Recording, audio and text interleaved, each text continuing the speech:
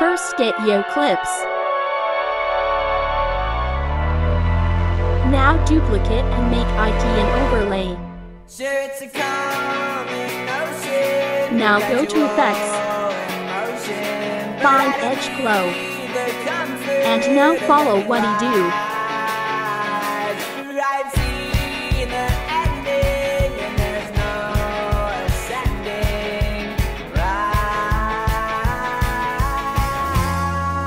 Apply the effects toad overlay.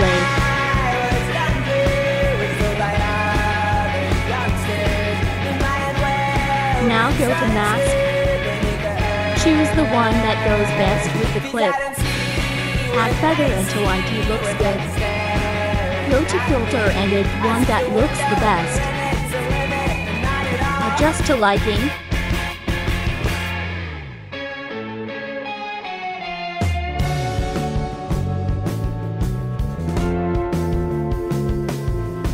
And this is the Neptun Glow on CapCut.